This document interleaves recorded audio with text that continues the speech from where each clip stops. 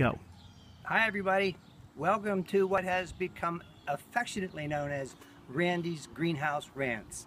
Um, I would have chosen a different name, but I didn't choose it. Um, we talked last week about some of the things that we were doing at the garden, and we started on the outside, and I wanted to remind you that the greenhouse, if you look up there, the solar panel that we had, I said the off-grid water system didn't use electricity, and it's not true. It does use electricity.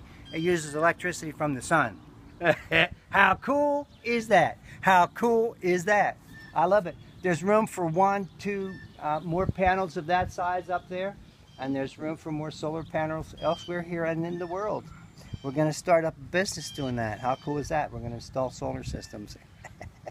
I love it. We worked on the plants uh, today, cleaned out a lot of the weeds, and this one's growing to, to lay out over here so it's easier for the neighbors to pick it and so it won't crowd the other food we're doing. And remember, if last week all the lamb's quarter was in there, it's all gone. And we've uh, got tomatoes and peppers ready to go.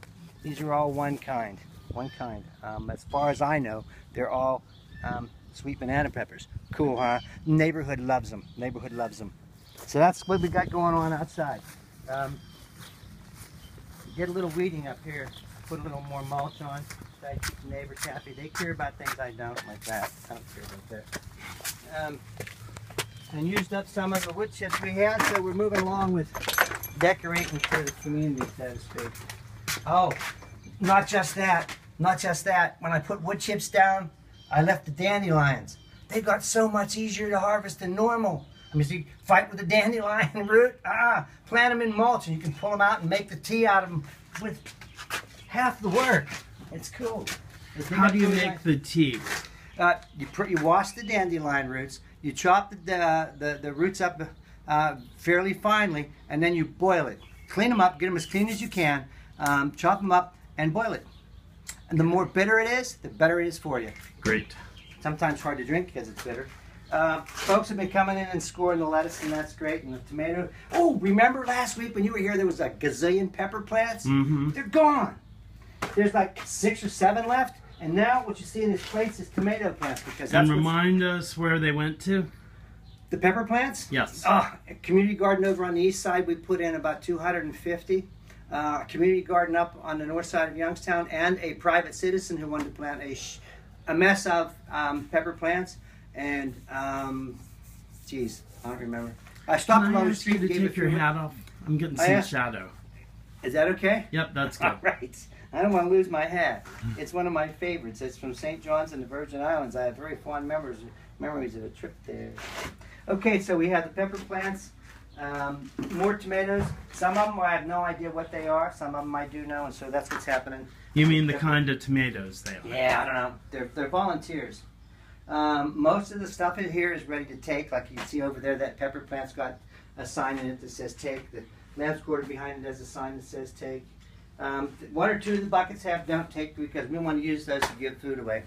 Okay. You know, when we do the food not bombs thing, we're probably going to need some fresh tomatoes, and so I want to save some of that for that. Every one of those is a cherry tomato, my favorite. My favorite.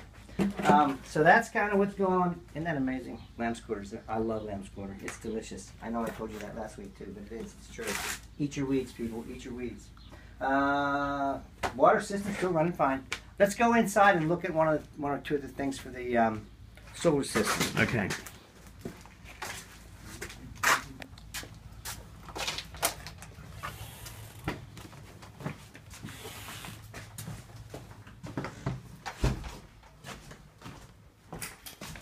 Can you get a shot of that light, Joe? Yep, got it. All right, yeah, that's that's the um, lighting system for in here, and you would be absolutely amazed how much that, and maybe a, an independent lamp, does the trick for this room. And that's completely solar powered. That's right.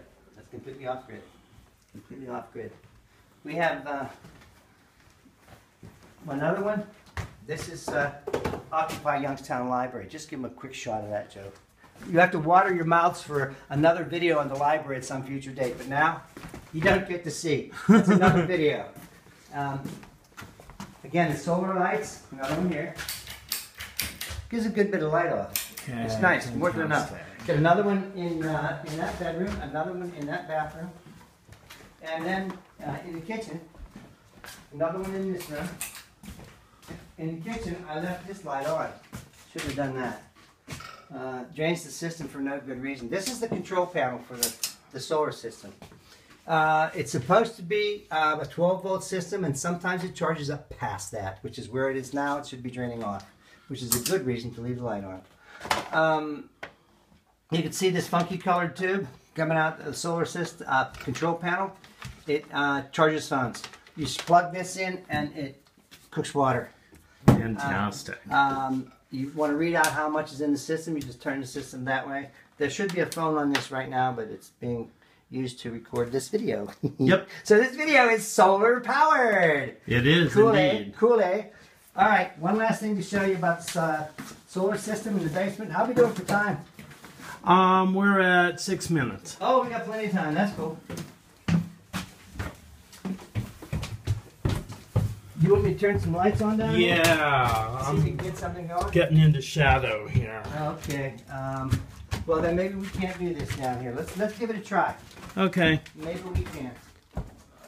What I want you to see if you can get a shot of is this panel up here. Come around the front. See if you can get a shot of that panel. Okay. Yep, You got see it. What the sign says is occupy off the grid. This is the brains of the solar system. And I can't talk about it because I'm not smart about this stuff. What I can tell you that smarter people than me put together.